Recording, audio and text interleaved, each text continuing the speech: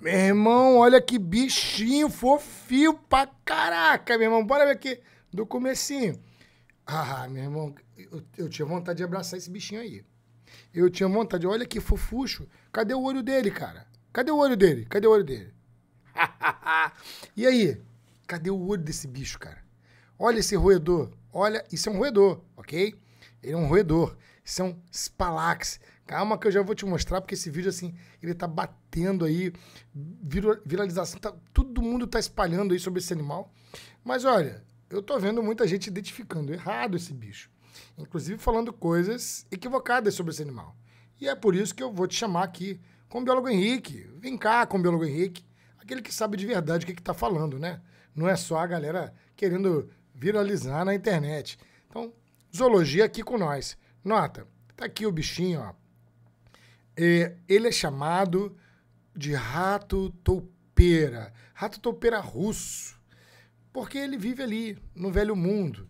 Mas não é só uma espécie, e aí que a galera tá errando, tá bom? Eu já vi gente falando que é o Spalax é, giganteus, outro que é o Spalax leucodon.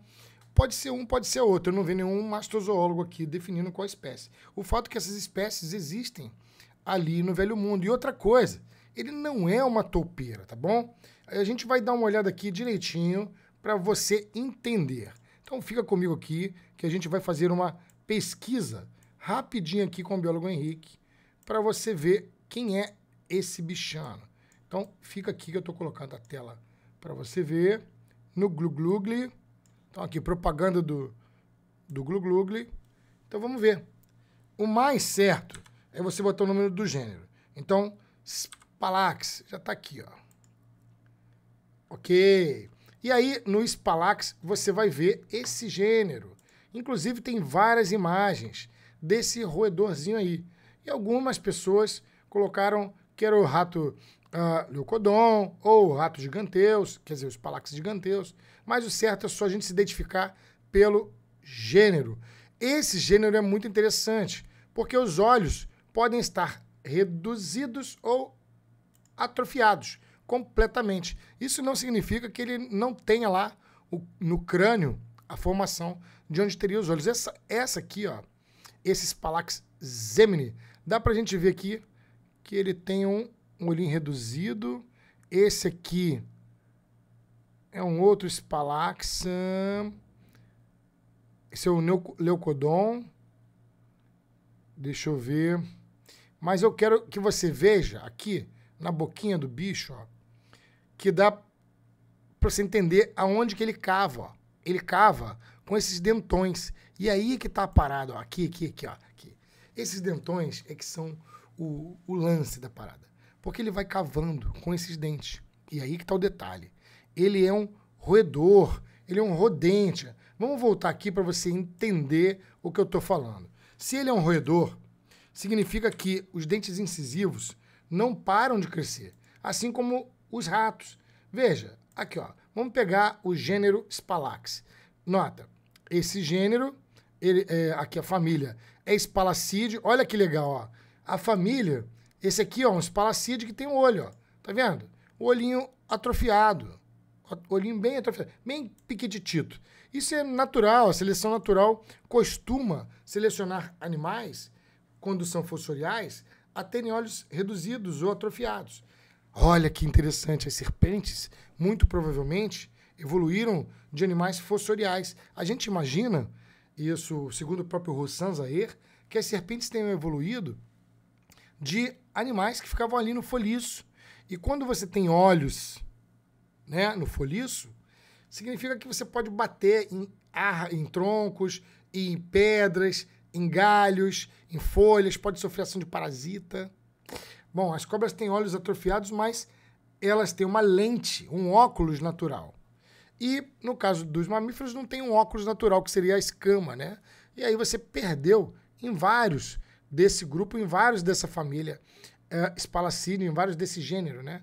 Spalax. Mas olha que animal muito bonitinho, muito fofucho. E o legal é o seguinte, que esse animal, ele é um cavador e dentro desses túneis ele encontra minhoca, encontra insetos, ele outros invertebrados, ele encontra raízes, é, rizomas. Então ele vai se alimentando desse apanhado de coisas.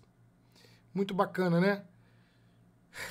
Bom, não confundir com toupeira, ó. Toupeira não é roedor. Quer dizer, existem vários animais que são chamados de toupeira.